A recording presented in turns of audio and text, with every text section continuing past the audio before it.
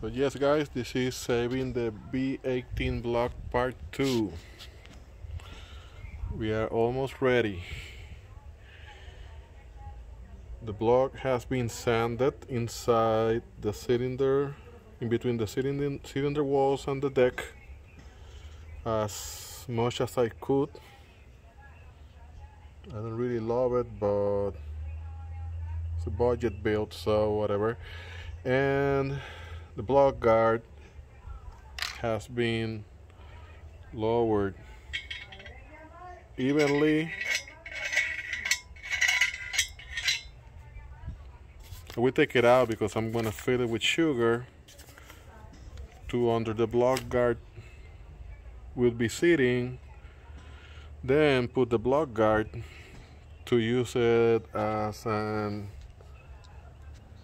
exoskeleton for the Moroso block filler because the purpose is to reshape the outside of the cylinders which has been almost lost lost completely.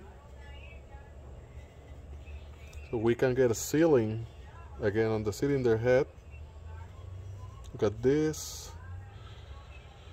so this is what running your car or your engine on water for years and years makes or does to your engine. Coolant exists for exists for a reason. It's not only for cold places. Coolant is a lubricant. So please use coolant. Okay, we'll see you in the next video.